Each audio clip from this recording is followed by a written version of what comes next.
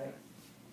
But then the question becomes, to what extent is there, to what extent can we use, say, the mother-daughter relationship, or even the relationship of friendship, which I think um, is a very extremely interesting part of the book, especially your, your engagement with Derrida.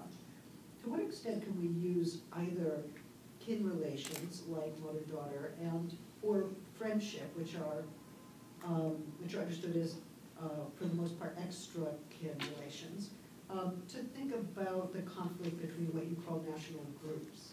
And do we need to make a move from intimate and, intimate and social, I don't know how to put it, intimate domain, the intimate domain and the political? Do we need a group psychology, uh, or a shift to a different kind of psychoanalytic perspective? Or do you want to say that the same mechanisms that hold in intimate kin relations are also at work in broader um, political conflicts? Okay, that's a very, um, that's a very difficult question. Uh, um, Well, and, you know, Antigone would say, you know, Antigone would be an example of their conflation, but anyway. Right. Um, I am using concepts from um, individual, private, intimate relationships, of course, and I'm using psychoanalytic concepts um, from um, from this um, um, space between uh, individuals, um, certainly. But I think that there is also um, collective psyche or cultural unconscious or discursive uh, unconscious, and that we should talk about this and bring it into politics. And I think that we can get help, a lot of help, from uh, personal relationships and uh, from personal uh, encounters. Uh, but I think that we need to do the lip, to do some kind of theoretization in order to be able to speak about um, um, collective desires, for example, um, and uh, something in, in, the, in the way that Freud does in Totem and Taboo. Okay, um, I think that he uh, this this was this uh, essay or, or, or, book by by Freud was kind of my um, my steps that I tried to follow in the um, theorization of of more social and, and cultural uh, relations. Uh, it's not obvious. It's not uh, necessarily something that we should take uh, for granted. But I, I do think that we can need and we can we can do and, and need uh, to do this kind of juxtapositions between uh, individual and group relations. And, yeah. Um, there's there's one point that I found interesting where um, it seemed like instead of working with um, an ambivalent configuration of hatred and, and love or hatred and desire, you, you wrote the following on page 102. You said that hatred is a defense that suspends the writing and narration of the history of trauma. And I found that incredibly interesting. Can you talk to us a little bit more about what you have in mind there? 102. That hatred is a defense that suspends the writing and narration of the history of trauma.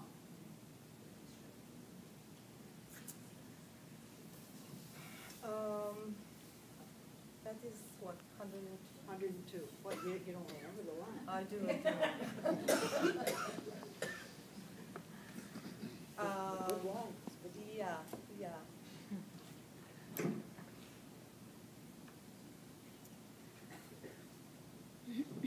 Well, I will um, talk about uh, Primo Levi, for example, or uh, in that matter on my father,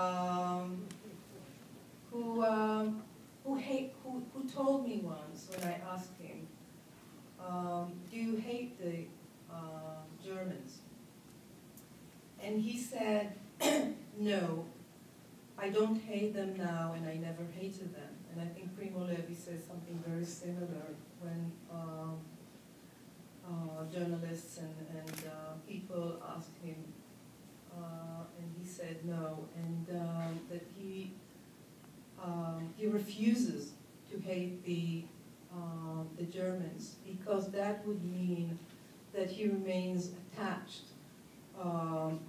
to um, the killers and to the the, the perpetrators, and uh, only by refusing to to hate, he can relate and he can think with pleasure uh, about his family, about about what happened, and so in order in order to um, the way um, how did he phrase it? In in in, in order to um, um, what is about trauma? How did you phrase it? Oh, It's just, I don't have it in front of me. It's, it's actually your phrase. I know. Um, You wrote, hatred is a defense that suspends the writing and narration of the history of trauma. Okay, okay. So in this way, when people hate, um, they they remain they remain so connected um, to to the uh, perpetrators that they cannot get in touch with the trauma. That that they cannot remember the history and and the uh, um, the, the events that uh, that were there. And so, uh, in order to remember, really remember what happened in the Holocaust, my father said, "I do not hate the, the Germans." And uh, and I think that Primo Levi wrote from this very place. Uh, he needed to remember what happened, and in order to remember, in order to write um, his uh, painful memories, to be able to write, he had to refuse hatred. Um, The other, the other point you make in that regard is that hatred would take either your father or Primo Levi away from the ones he loves most. uh, Because it would become obsessional and it would it would actually break, break the bonds of intimacy that are most important to value. Exactly, exactly, yeah, thanks. Uh, I have, a- I have a last question, and then I think we should open it up. Okay. Um, So, you have a discussion in this book about peace. Um, And you suggest that very often in political discourse, um, peace, um, the, the term peace functions as a fetish. Um, And it seems to me you're opposed to that. Um, But it doesn't keep you from using the word. Some people say, oh, I'm not gonna talk about peace, it's too sullied or instrumentalized. I would like to know, first of all, what is meant when you say that peace is a fetish? And then I want to know, secondly, um, are you holding out for a, a true peace beyond, um, beyond peace? Uh, Is there a peace beyond peace? Peace without peace. Maybe, No. maybe. That's what I would say. No, no, no, I'm not saying. No. Um, You see, uh, many people, particularly politicians, talk about, as I said in my talk, ideal peace, true peace, the word true peace. And, I mean, Netanyahu asserts days and, and night that he's for peace, that he wants peace, but there is no one to talk to and there is no one to uh, do peace with, you know, and, and uh, everyone wants peace, right? So it becomes this fetish word that we all continuously claim how much we desire, but we actually are very afraid of peace. Yeah. Okay. And so I suspect that sometimes, uh, particularly in tractable conflict, people know how to uh, move, how to feel during war, but they don't really know um, what peace will bring. So, in a way, I think that they are really afraid of peace. And this is the, the fetish, you know, that we talk about peace, but we actually don't mean it. We actually um, hide our fear of, of, uh, of peace. Now, in my last uh, chapter of, of book, I talk, I talk about friendship, actually, not about peace. But I talk about friendship as a concept of peace. And uh, I call the chapter From Justice to Friendship because I think that we should stop when we negotiate. Uh, I have problems with the word negotiation or reconciliation, and I develop this in the book. But when we do um, negotiate, um, even when it is dialogical, I think it's, it's very problematic. Um, but we should give up. We should give up uh, demands for justice uh, because justice requires some kind of negotiations, and and through negotiations, we always reiterate um, these uh, that things that actually fail us from the very beginning.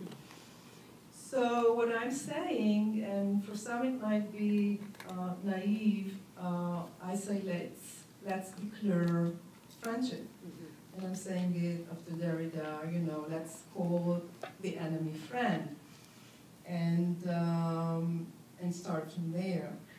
Um, and uh, I'm, I, I don't think I'm very naive. Uh, I think that that's what Sadat uh, actually did when he asked uh, Menachem Begin to come to Jerusalem. And uh, he was very courageous and, and uh, actually risked um, refusal.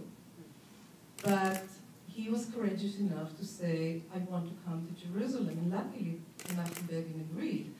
And this was the first step in uh, the peace accord between Egypt and, Israel. So I don't think I'm so naive. I think we can um, declare friendship without any preconditions, without any negotiations, without the oppressor. And it, it must be on the side of the oppressor. It has to be from the oppressor to just declare peace and then and offer uh, this gift, this generosity, and then start from there. So I'm using, not using the word peace. Okay. Um, So I, I have many things to say, but maybe this is a moment to open the floor to get some questions. And, and I can barge back in a bit later. So, I guess, uh, why